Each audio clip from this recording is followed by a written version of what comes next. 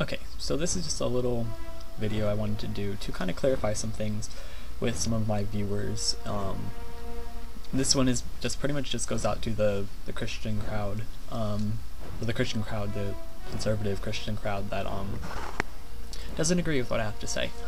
Um, a lot of you tell me that I am wrong, of course, you tell me I'm wrong, in that I'm twisting scriptures or that I'm living in sin, um, or whatever. Um, I really don't care that you tell me that because um, it really doesn't matter to me. Um, because what I okay, here's what I wanted to say. I know, pretty much without a doubt, that I am right in what I say and what I believe. It is not just something off a whim that I decided to believe, or that I'm trying to prove something to myself, or that I'm believing it because I need to justify my lifestyle. Um, because up until I was enlightened, or until I clarified my views, I did think my, this lifestyle, the homosexual lifestyle, was wrong in a way. Um, it didn't make sense to me why it was wrong, but I just trusted that it was wrong. Um, but that's before I'd done any of my own research.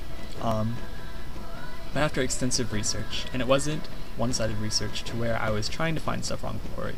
I just wanted to know why it was wrong, and I wanted to see what exactly the Bible had to say about it, what other people had to say about it.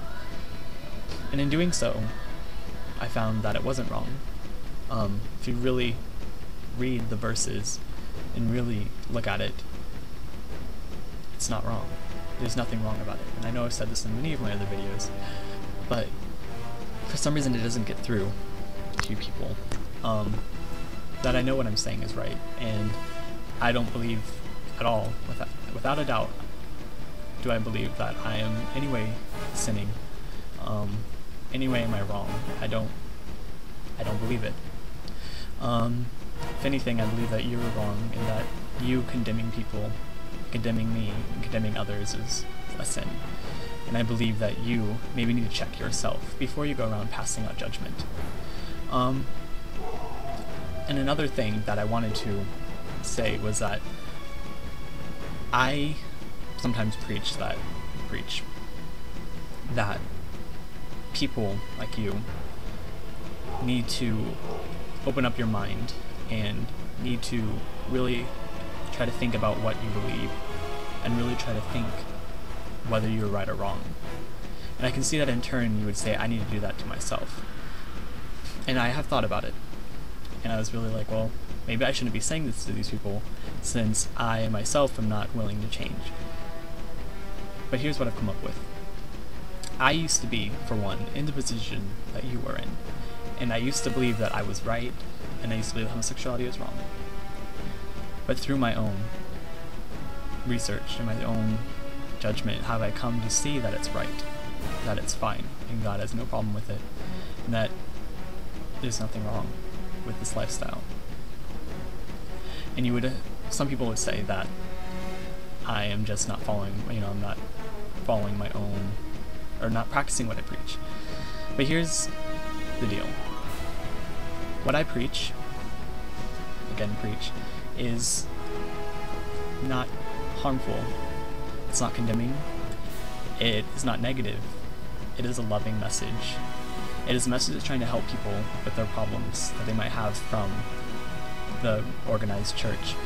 Um, and what I say is there's nothing negative about it. In no way am I putting someone down. In no way am I telling someone that they're sinning. In no way am I telling someone they're going to go to hell. In no way am I saying any of these things.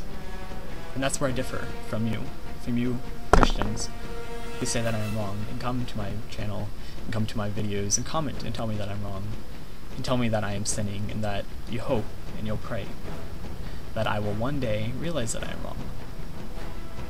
The thing is that I will never realize that I am wrong because I am right and you're wrong. And that's the only way I can see it. Because your message is a hateful message. Regardless of what kind of fluff you want to put around it, it is hate. You can say that you love the person and you hate the sin. That is just a ridiculous message. Because Jesus was not for that at all. Jesus said, forgive the sin, love the person. You know, That's what it is. You have to forgive.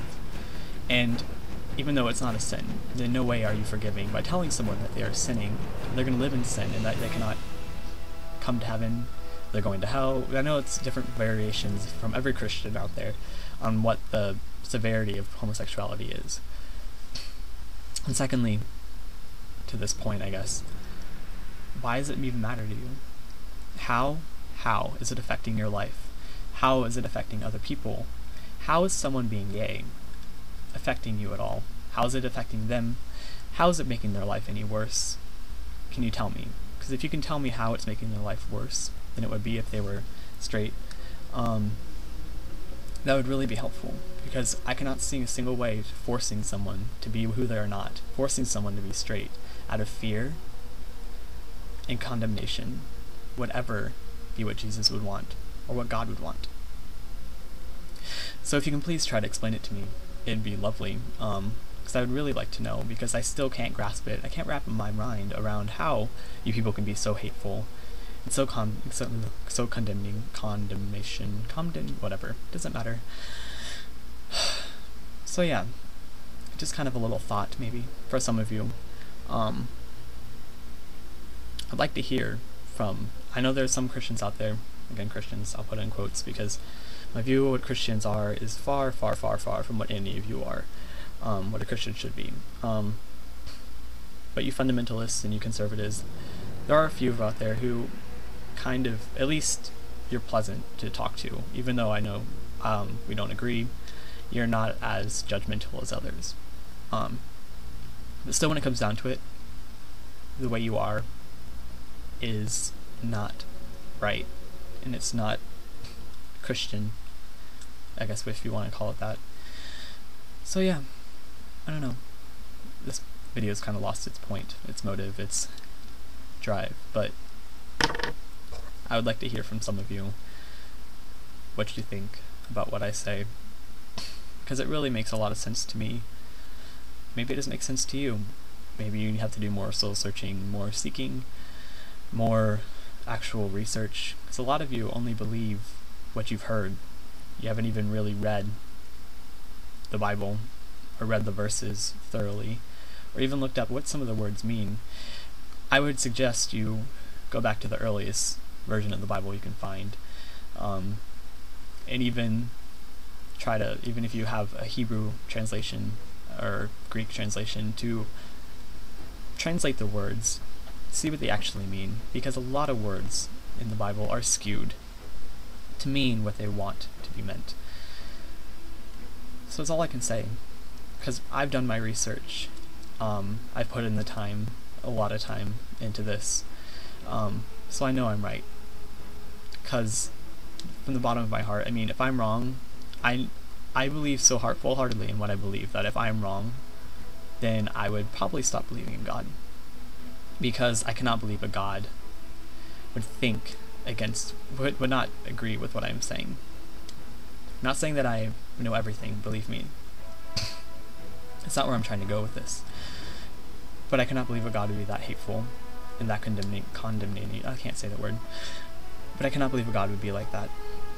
So if I am wrong and God is like that, then maybe this isn't the right religion for me. Maybe this isn't the right religion that controls most of the world. That's just my opinion. Of course, I'll probably be having more videos soon, because this is a never-ending subject. This video is already really long. So, all of you, have a great day.